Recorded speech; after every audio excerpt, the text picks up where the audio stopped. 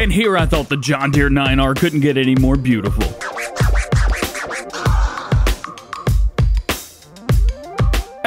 What's going on everybody? DJ GoHam here. Welcome back to the channel and welcome to new mods for Farming Simulator 19.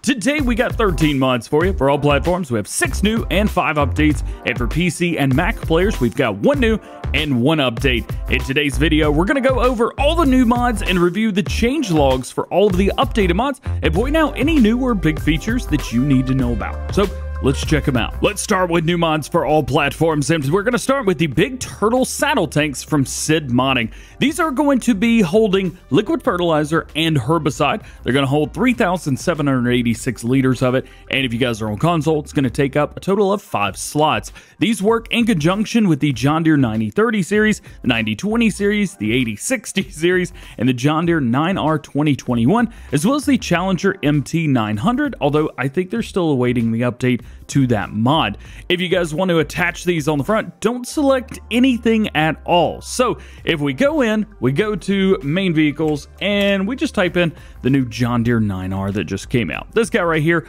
on the front, see we got weight holder. Well, what you need is no. So just put nothing on the front and you will be just fine. As far as this guy right here, when you download it via the in-game mod hub, it is also going to download the John Deere 9020 and 9030 series. So heads up there, uh, you may run into an issue if you guys are running on like 98 or 99%, it may not download. So heads up, just in case you're trying to get this downloaded and it won't for some reason, it's because it's going to download another mod. Though I highly recommend using that or the John Deere 9R, all from Sid Modding. Your next new mod for all platforms today is going to be the New Holland BR6090 round baler. It's going to make 4,000 liter round bales, going to require 45 horsepower, 9 miles per hour working speed, which is a little bit lower than most of the balers that we've got in game, and it's going to cost you 30 grand if you guys are on console. It will take up total of 5 slots. We do have some design on here, so let's check it out. So we have two different kinds of yellow, and then we have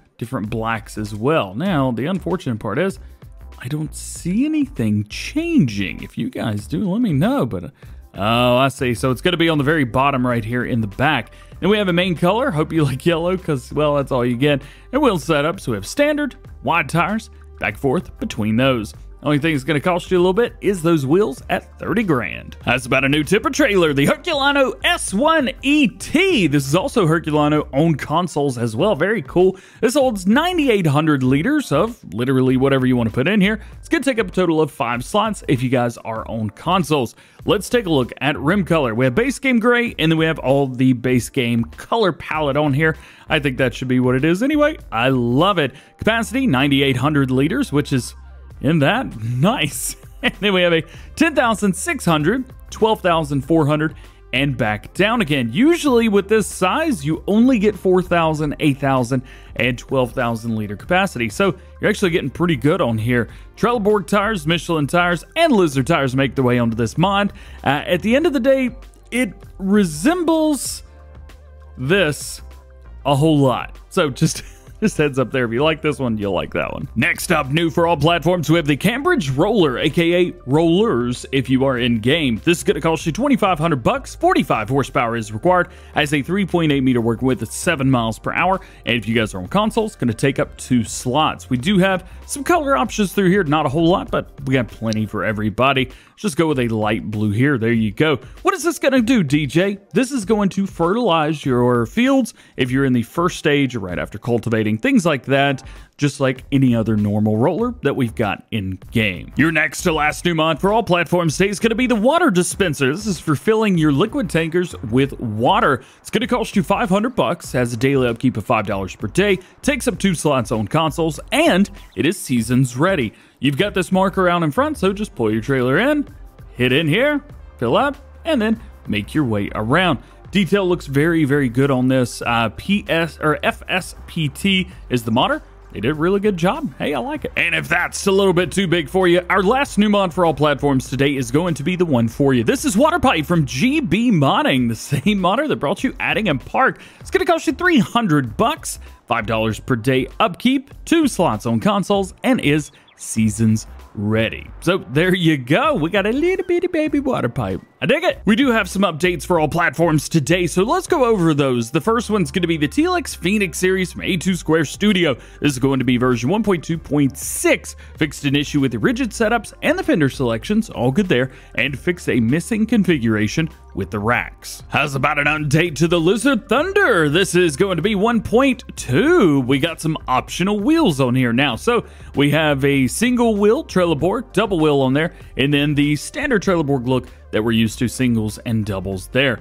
Really digging this look. The only thing a little odd when you click on it, it's around backwards.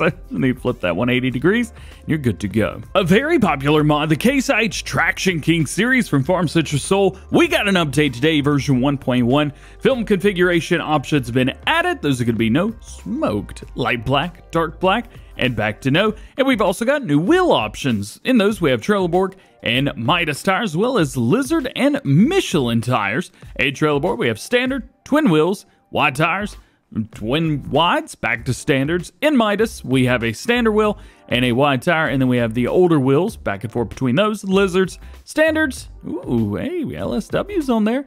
Wish those were a little bigger, that's okay.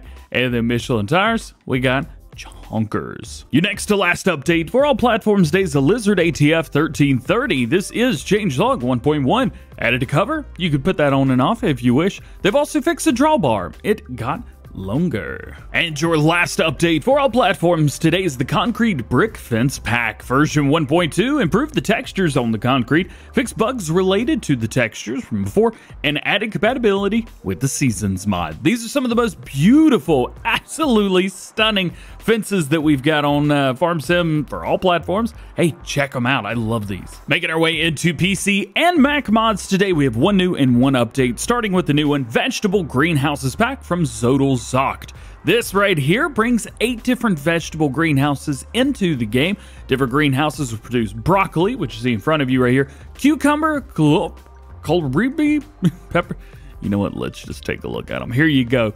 Uh, peppers, pumpkins, radish, spinach, tomatoes. So you got all of these right here. Lots of input, but only one output, it looks like. Uh, this is only usable in conjunction with the Global Company mod, which you guys know I've been using as of late. Recommended mods, you got the AgriZ land trade, small sawmill pallet production, stationary wood chipper plywood production, wood crate production, high bay warehouse. You've also got the multi-composter, fertilizer production, pesticide production, and the seed production. So uh, I hope you are well adjusted to the Zodal Zocht universe.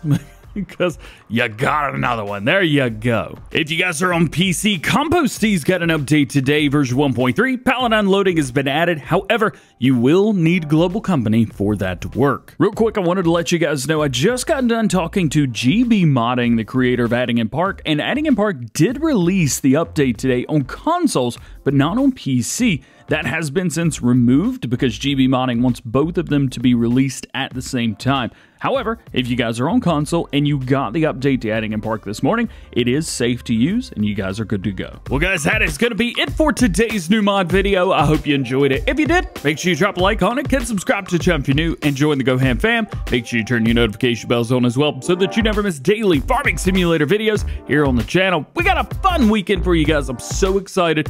On Saturday, we're going to be live streaming with Prestige Worldwide, Clutch Simulations A2 Studio, and a couple special guests as well. And then we're going to be maybe streaming Saturday night with A2 Studio as he officially reveals the TLX 3500. If you guys are excited about that, you don't want to miss it. All be said, hope you have a great day, and we'll see you later. Peace.